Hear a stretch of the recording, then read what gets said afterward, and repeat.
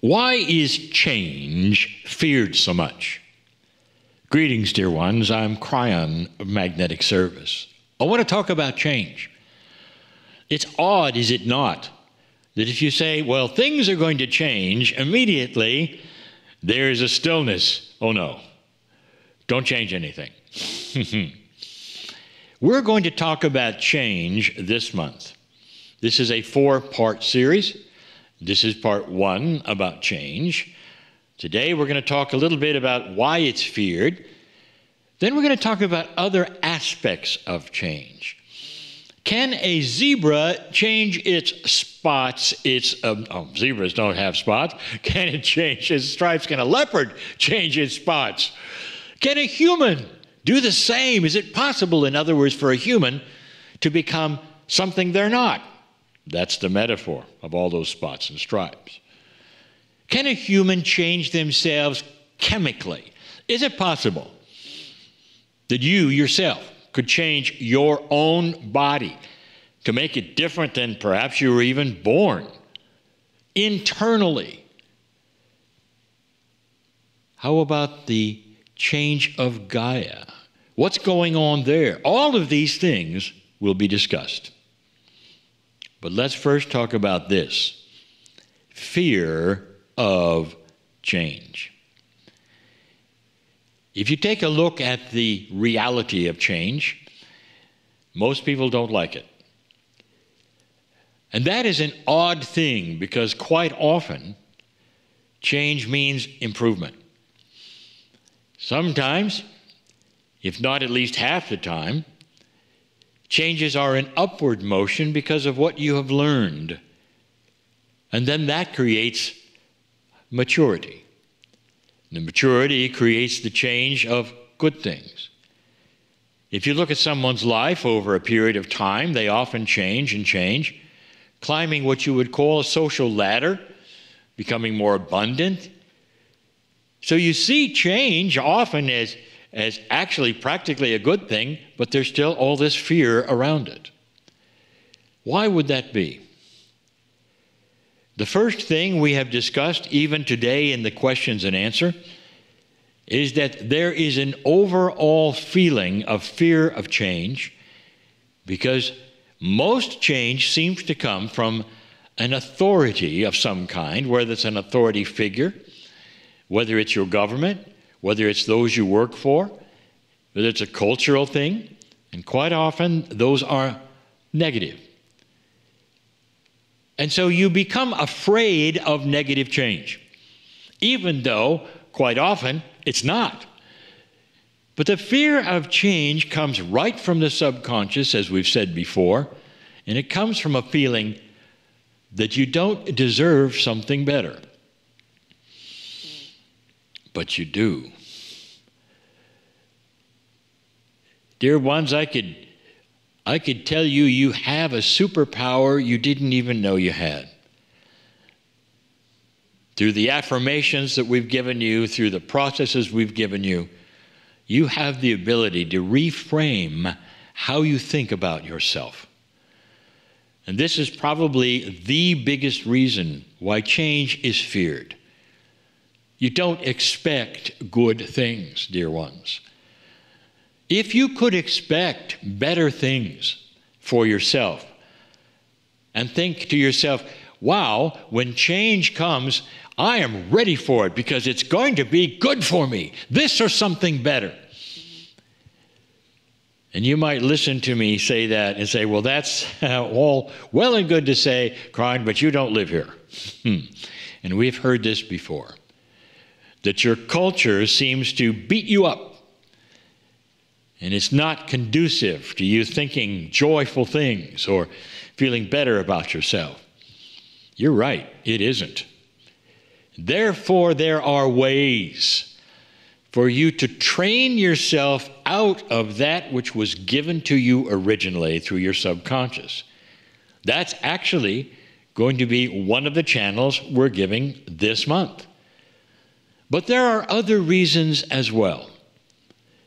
Sometimes the changes that you receive are profound.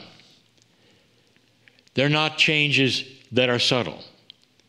Sometimes they're an awakening kind of a change, where there is a sudden realization that things are different from anything you were ever told.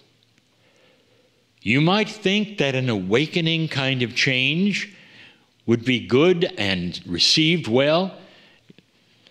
It often is filled with a time of adjustment and fear, apprehensiveness, emptiness. And here's why. The other reason the change is hard to receive.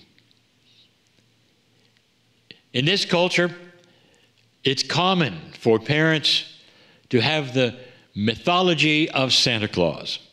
And then, as a child grows up, at some point in time, the child is told, well, that's not really Santa Claus, it's us. and many times the child is taken aback and will go to its room and even cry because the, the mystery is taken away. The sleigh and the reindeer is gone, and all of the magic disappears instantly. Now, this is common in the culture, but you could even see the child's reaction is very similar to your reaction when you awaken to a grander truth that's not anything you were told. And part of the reason why this is so difficult is because those who gave you the original information were authority figures who you loved and trusted. And this is common with belief systems. Perhaps you're disenchanted with something you believed originally. And you're having a hard time switching that, but the more you look at it, the more you realize it's not what you were told. And then you go back and say, well, who told it to you? And you say, well, it's people you loved and people who, who you trusted. And then you say, well, if I change my mind on this, it's really a betrayal of my love for them. No, it isn't. Here's what I want to tell you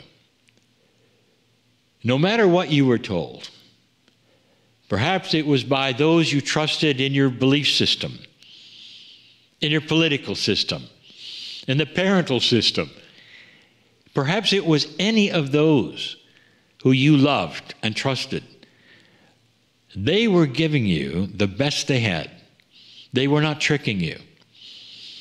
They gave you what they believed was true.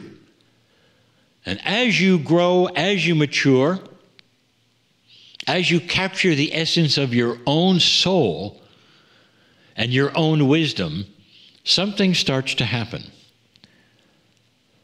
The Akash of the human being starts to be activated if you allow it. When you start giving affirmations and say, Dear Spirit, tell me what it is I need to know. You're opening a door. It's a door of greater truth.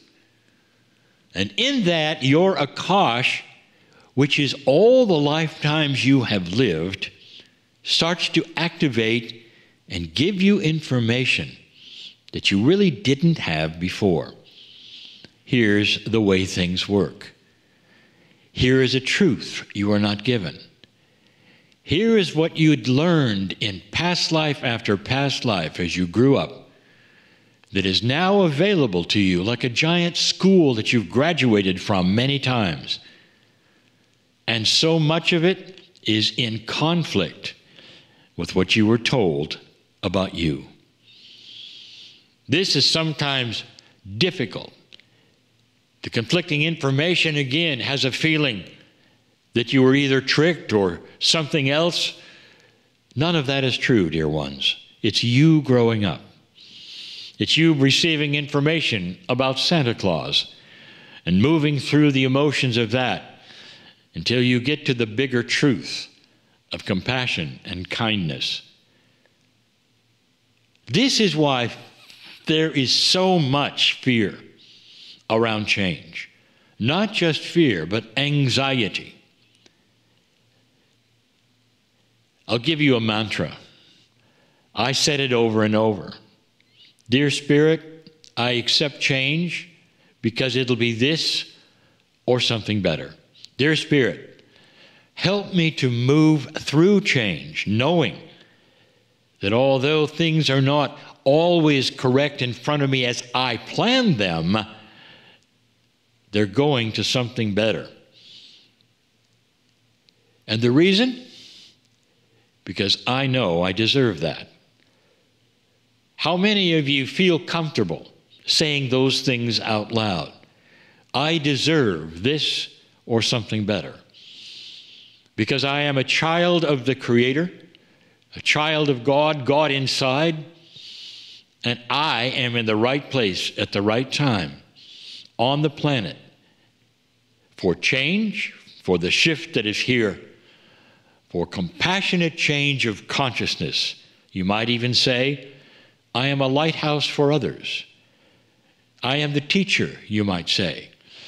And therefore, the change in my life is positive. I expect it. Bring it on. How does that sound? Can you do that? Why don't you give it a try, dear ones? Because I, as Kryon, know where this planet is headed.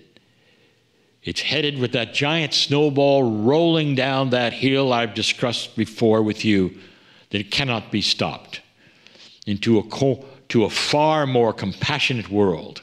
And you are part of it. Expect good changes in your life. And so it is. Hi, everyone. The short Kryon channeling you just enjoyed is from our weekly 90 minute healing program called Healing Wednesdays. Interested? I invite you to find out more at KryonMasters.com slash HW.